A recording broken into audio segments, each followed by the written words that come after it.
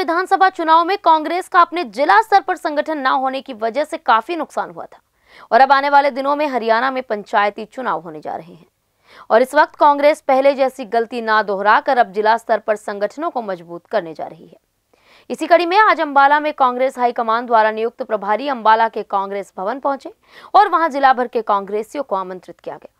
जिससे वे उनकी राय जिला संगठन को कैसे मज़बूत किया जाए और किसको क्या पद दिया जाए के बारे में कार्यकर्ताओं से जानकारी जुटाएँगे और कार्यकर्ताओं द्वारा दिए गए नामों को अपने आला कमान तक पहुंचाएँगे, जिससे जिला स्तर पर संगठन की नियुक्ति की जा सके और कांग्रेस को मज़बूत किया जा सके।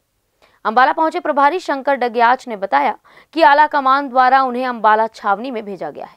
जहाँ वह अंबाला ज़िले के कांग्रेसी कार्यकर्ताओं से उनके संगठन को कैसे मज़बूत किया जाए और किन लोगों के हाथ में संगठन को सौंपा जाए की जानकारी लेंगे और उस जानकारी को अपने आला कमान तक पहुंचाएँगे, जिससे अंबाला में जल्दी संगठन का गठन किया जा सके।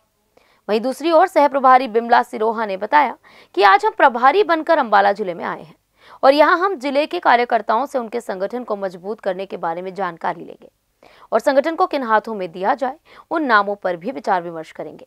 और उन नामों को कांग्रेस हाईकमान तक पहुँचाए जाएँगे जिससे जल्दी हरियाणा में संगठन का गठन हो सके।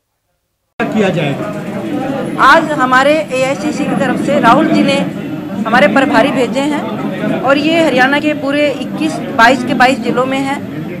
आज हमने यहाँ एक पब्लिक मीटिंग के रूप में हमने ओपन हाउस पूरे ज़िले में फ़ोन किए हैं कल और आज ये किया कि भाई प्रभारी जी शाम तक यहाँ मिलेंगे कल भी मिलेंगे। अपने सुझाव दें, अपना नाम दें और वो पैनल बन के जाएगा और जल्दी से जल्दी कांग्रेस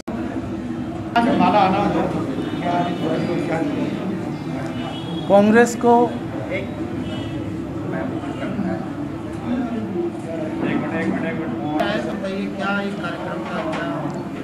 अम्बाला आने का कार्यक्रम, आज कांग्रेस जो संगठन है, पुनर्गठन के लिए, कांग्रेस का संगठन बनाने के लिए नीचे के स्तर, ब्लॉक स्तर तक हम संगठन कैसा बनाएँ, जिससे सब लोग अच्छे प्रतिनिधि कांग्रेस में चुन सकें, अच्छे लोगों को प्रतिनिधित्व मिल सके और कांग्रेस कांग्रेस बिछोड़ने का तो अभी पता लोकल तो मेरे को तो संगठन है अति शीघ्र ब्लॉक स्तर पर कांग्रेस का पूरा संगठन देखेंगे, जिला स्तर पर पूरा संगठन देखेंगे और कांग्रेस के हर प्रति प्रतिष्ठित आदमी, सम्मानित आदमी, युवा, महिलाएँ सबको प्रतिनिधित्व मिलेगा।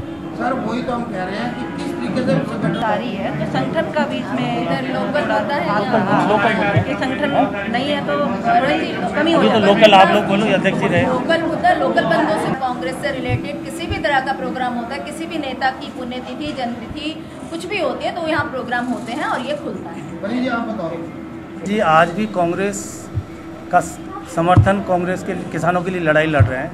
कांग्रेस का हर कार्यकर्ता किसानों के आंदोलन के साथ लड़ रहा है। धन्यवाद करना चाहता हूँ आप सबके माध्यम से ये सम्मान एक कांग्रेस के विधायक को मिला है। आपका बहुत बहुत धन्यवाद हमारे इलाका वासियों का धन्यवाद जिन्होंने चुनकर मुझे विधानसभा में भेजा था। पार्टी कमज़ोर है अच्छे खासे उसमें विधानसभा में भी लेके आई है। और कांग्रेस पार्टी ने हमेशा ही पूरे डट के, चाहे विपक्ष की बात हो, चाहे वो केंद्र की बात हो, चाहे अपने हरियाणा स्टेट की बात हो, लड़ाई लड़ी है। आज भी सड़कों पे, कांग्रेस का हर कार्यकर्ता सड़कों पे उतरा हुआ है, काम कर रहा है और संगठन में जो कमज़ोरी की बात आई कि संगठन नहीं था पिछला, है हमारा, पिछले छः सात साल नेचुरली फ़र्क पड़ता है। हम तो उनका स्वागत करते हैं, राजस्थान से शंकर जी आए हैं। और संगठन बनाने की तरफ़ ये प्रयास है। हम तो सबको बधाई देते हैं और आप देख रहे हैं कितना कांग्रेस के कार्यकर्ताओं के अंदर जोश है कि संगठन बनेगा पार्टी मज़बूत ही है और मज़बूत होगी इस तरह से। कि ये ज़िम्मेदारी देने की बात होती है। कार्यकर्ता ना पहले पीछे हटा ना आगे हटा है ना आगे हटेगा।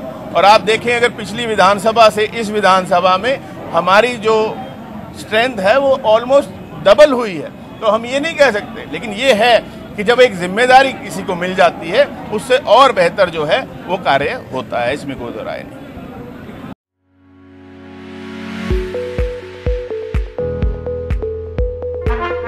ब्रेकिंग न्यूज़, रास बसेरा आपके लिए लेकर आए हैं खास मौका। वो भी हरियाणा सरकार की अफोर्डेबल हाउसिंग योजना के साथ, जिसके तहत आपको मिलेगी छह लाख रुपए तक की सुविधाओं के रूप में सब्सिडी जैसे कि free parking EDC IDC free club charges free और मेंटेनेंस फ्री और कोई हिडन चार्जेस भी नहीं। तो आज ही बिना देर किए अपने सपनों का घर बुक करें।